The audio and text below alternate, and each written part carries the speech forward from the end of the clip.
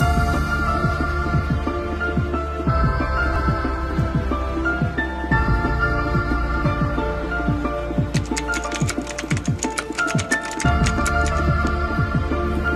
viếng nghệ sĩ trí tài tại Mỹ. Vợ cố nghệ sĩ cũng không nhận vòng hoa, phúng điếu.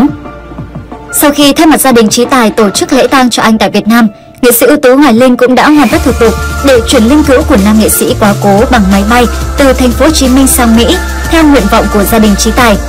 Chuyến bay chở linh cữu của Trí Tài được vận chuyển từ tối qua ngày 12 tháng 12 tại sân bay Tân Sơn Nhất theo đúng các quy định hàng không. Anh trai cố nghệ sĩ Trí Tài cho biết, ngay sau khi đến Mỹ, linh cữu của Trí Tài sẽ được đưa đến bảo quản tại một nhà quan. Cùng lúc này, phía gia đình Trí Tài cũng đã phát đi thông báo về việc tổ chức lễ viếng cho anh tại Mỹ Cụ thể lễ viếng nam nghệ sĩ sẽ diễn ra vào ngày 18 tháng 12 tới tại một nhà thờ ở California. Sau lễ viếng này, linh cữu của trí tài sẽ được hỏa táng và chôn cất tại nghĩa trang Pet Family Funeral Home. Đặc biệt, phía gia đình trí tài cho biết, để hoàn thành tâm nguyện chưa tròn của trí tài khi còn sống là sẽ trở lại miền Trung để giúp đỡ người dân, những người từng phải gánh chịu hậu quả từ bão lũ thiên tai. Vì vậy toàn bộ tiền mua vòng hoa và phúng viếng mà mọi người gửi sẽ được đóng góp vào quỹ từ thiện mang tên anh, Trí Tài. Trước đó tại tang lễ tổ chức tại Việt Nam, nghệ sĩ ưu tú Hoài Linh cũng đã thay mặt gia đình Trí Tài đưa ra thông báo về việc không nhận vòng hoa và dùng toàn bộ tiền mua vòng hoa, tiền phúng để thành lập quỹ riêng cho Trí Tài. Số tiền gây quỹ sẽ dùng để xây các căn nhà tình thương, tặng bà con chịu nhiều mất mát thiệt hại nặng nề sau trận bão lũ lịch sử vừa qua. Trên những ngôi nhà tình thương này sẽ gắn biển nghệ sĩ Trí Tài thương tặng. Nghệ sĩ ưu tú Hoài Linh bày tỏ, anh nghĩ việc làm này sẽ thiết thực và ý nghĩa hơn rất nhiều. Vợ nghệ sĩ Trí Tài khiến nhiều người rơi nước mắt với dòng tin nhắn Anh Tài đang bay về với bé heo Tối ngày 12 tháng 12, hàng nghìn người hâm mộ cùng đông đảo anh chị em nghệ sĩ đã có mặt tại nhà tang lễ Bộ Quốc phòng Thành phố Hồ Chí Minh để tiễn đưa nghệ sĩ Trí Tài lần cuối cùng. Có biết bao nhiêu câu chuyện xúc động, những khoảnh khắc đáng nhớ đã được ghi lại trước khi di hài cố nghệ sĩ được đưa đến sân bay Tân Sơn Nhất.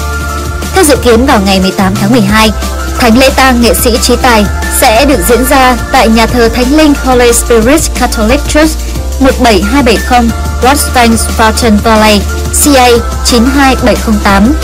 Mới đây trên trang cá nhân, ca sĩ Chizzy Phương Trinh đã có những chia sẻ xúc động về những kỷ niệm với người nghệ sĩ trí tài lúc sinh thời. Trong đó nhiều người hâm mộ đã rơi nước mắt khi đọc được tin nhắn của chị Phương Loan gửi cho Chizzy Phương Trinh. Cụ thể, cô gửi hình ảnh chiếc máy bay đưa danh hài nghệ sĩ trí tài cánh trên bầu trời cho bạn lời nhắn. Anh Tài bay về với bé heo. Cô viết Sáng nay nhận được tin nhắn từ chị Phương Loan với dòng chữ Anh Tài đang bay về với bé heo Với cái hình máy bay đang bay trên trời Mà lòng mình quặn đau Và cảm giác như trái tim vỡ vụn ra từng mảnh. Lúc đó chỉ ước gì có thể đứng trước mặt chị Để ôm chị thật chặt vào lòng Và khóc với chị. Muốn viết cho chị vài dòng Nhưng từ sáng đến giờ Hãy cứ vừa gõ vào bàn phím là nước mắt lại rơi. Cho dù trong lòng có đau xót đến đâu, Cũng không thể nào hiểu thấu được nỗi đau của chị trong lúc này. Mấy ngày nay, ai cũng nói về anh Trí Tài Và những kỷ niệm với anh ấy, Nhưng ít ai nhắc đến chị Phương Loan Ngoài những lời an ủi Mong chị mạnh mẽ vượt qua thời gian này. Qua status, Gigi Phương Trinh còn tiết lộ những kỷ niệm đáng nhớ của cô cùng vợ chồng nghệ sĩ Trí Tài. Qua đó người hâm mộ đã được biết thêm về tình yêu đẹp của đôi vợ chồng trong suốt mấy mươi năm, từ lúc kết hôn cho đến những năm gần đây. Nghệ sĩ Trí Tài vẫn dành cho vợ tình yêu đong đầy, Chị Phương Trinh viết Kỷ niệm vui gần đây nhất với chị Phương Loan là một hôm chị gọi mình hỏi Em ơi, bé heo thấy em đăng trên Facebook thích ăn bánh tay cùi Nó có ngon không để chị nói anh Tài mua về cho chị ăn Mình trả lời Bánh tay cùi là bánh tuổi thơ của em. Nó không ngon, nhưng ăn nó bùi bùi nên em thích. Vài tuần sau thì nhận được cú điện thoại từ chị. Bên kia đường dây, chị cười to nói, Trời ơi, cái bánh gì em giới thiệu đó? Bé heo ăn vô lặt nhách, Mà một miệng bột không. Ăn vô nghẹt thở Thở không được luôn. Em ở đâu bé heo đem đến cho em hết? Mình nghe chị nói vậy thì phá lên cười Vì sự ngây thơ của chị ấy. Thế là chiều hôm đó, Chị mang đến rớt cà phê cho mình 8 bịch bánh tay cùi. Mình luôn ngưỡng mộ tình yêu của hai anh chị dành cho nhau. Sự ra đi của nghệ sĩ Trí Tài đã để lại trong lòng người hâm mộ Lẫn bạn bè đồng nghiệp những nỗi đau to lớn Hé lộ về nghệ sĩ Trí Tài Luôn muốn là nốt trầm Từ MC Nguyên Khang khiến khán giả rơi nước mắt Mới đây MC Nguyên Khang đăng tải bài viết về cố nghệ sĩ trí tài trên trang cá nhân khiến những người hâm mộ ông không khỏi xúc động. Ngoài sự mến mộ tình bạn đẹp giữa nghệ sĩ Hoài Linh trí tài suốt nhiều năm, MC Nguyên Khang còn hé lộ những tâm sự chưa từng kể về cố nghệ sĩ trí tài. MC Nguyên Khang viết: Đời người hạnh phúc nhất là tìm được tri kỷ. Hôm nay, khi nhìn nghệ sĩ Hoài Linh cúi dạp đầu thay nghệ sĩ trí tài cảm ơn khán giả đội mưa gió để tiễn đưa anh ra đi, tôi trượt trào nước mắt. Cái giọt nước mắt mà tôi cố kìm để anh Tài có thể không phải nhìn thấy, vì tôi biết sinh thời anh chỉ muốn là mọi người vui, mọi người cười, kể cả những gì thiệt thòi nhất cũng muốn nhận về phần mình. Và anh chắc cũng không bao giờ muốn người ta vì mình mà rơi lệ. Nhưng khi ngôn ngữ không thể diễn tả hết bằng lời, họ chọn nước mắt nói thay cho cảm xúc. Tôi nhớ có lần anh tâm sự với tôi, anh Tài bảo anh là nốt trầm, anh Linh là nốt bổng. Trong một bản nhạc, nốt trầm nốt bổng tạo nên giai điệu cho một bản nhạc hay.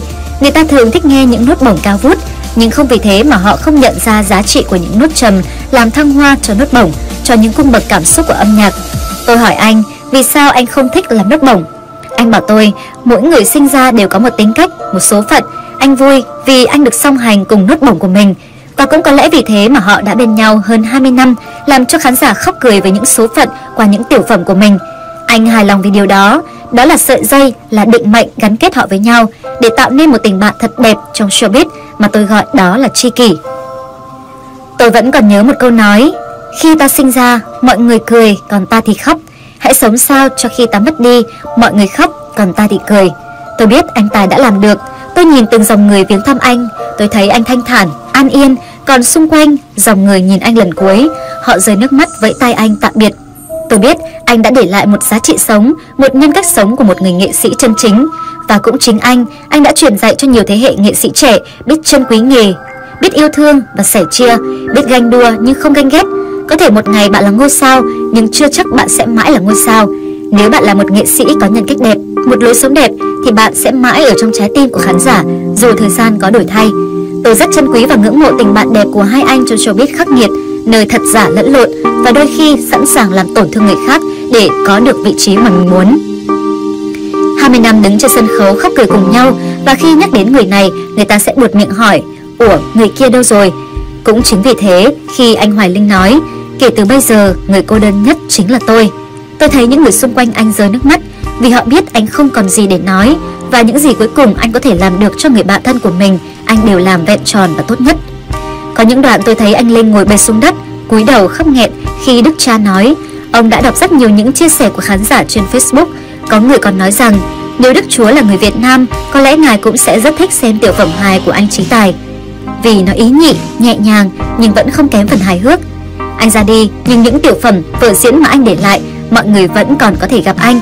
Tôi nghĩ anh Linh biết rằng kể từ đó về sau, mình sẽ không thể diễn cặp với ai xuất sắc hơn anh Tài. Và kể từ lúc này, trên sân khấu đó, anh độc bước. Tạm biệt người nghệ sĩ tài năng MC Nguyên Khang chia sẻ những điều xoay quanh tang lễ của nghệ sĩ trí tài và tấm lòng của những người nghệ sĩ dành cho nhau.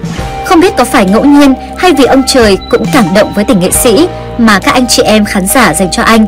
Sài Gòn một ngày tiết trời cuối năm lạnh mưa, nhưng đó là cơn mưa phùn thoáng nhẹ, như cái thút thít khóc bị dịn buổi chia tay. Ừ thì có cuộc chia tay nào mà không luyến tiếc và gây nhớ nhung cho người ở lại. Người ta vẫn thường nói, người ở lại là người đau khổ nhất mà. Với những gì anh Linh, chị Hương và các anh chị nghệ sĩ đã chỉn chu trong cách tổ chức, phân rào ba lớp, có cả ca đoàn nhà thờ, không có youtuber, streamer, không có sự ồn ào trong tang lễ của các nghệ sĩ như chúng ta thường thấy. Thay vào đó là sự trật tự, là những ca khúc thánh ca hay xúc động đến nao lòng, đến từng cái chai nước mời khách và cả những câu xin lỗi lịch sự. Trong quá trình tổ chức tang lễ, nếu có điều gì sơ sót, mong mọi người thông cảm. Tôi hiểu họ muốn anh vui với món quà này lúc sinh thời anh vẫn luôn là người chỉn chu trong nghệ thuật bởi người giàu nhất không phải là vật chất hay vì vị trí người giàu nhất, vì vốn dĩ những giá trị đó không tồn tại khi người ta nằm xuống. Cái vốn quý nhất của đời người đó chính là tình cảm dành cho nhau, là hồi ức còn nằm vỏn vẹn trong trí nhớ của người ở lại khi ai đó vô tình nhắc về họ. Trên đường về nhà, tiếng cười hình ảnh của anh cứ ẩn hiện trong tâm trí tôi. Đời người nếu có một người bạn nguyện vì mình mà làm mọi thứ, thì cho dù không có tất cả, ta cũng vẫn hạnh phúc vì đã có một tri kỷ. Bên dưới bài viết thu hút hàng chục nghìn lượt bày tỏ cảm xúc, đâm đầy tình cảm của MC Nguyên Khang. Người hâm mộ xúc động. Rất trân quý anh, bài viết nào nói về anh cũng gây xúc động vô cùng. Nguyên Khang viết bài hay, cảm động quá. Tạm biệt người nghệ sĩ tài năng, anh rất hạnh phúc khi ra đi, làm người hạnh phúc nhất khi rời khỏi thế gian mà hàng ngàn người đến tiễn đưa anh. Cầu nguyện cho anh ra đi thanh thản nhé anh Trí Tài.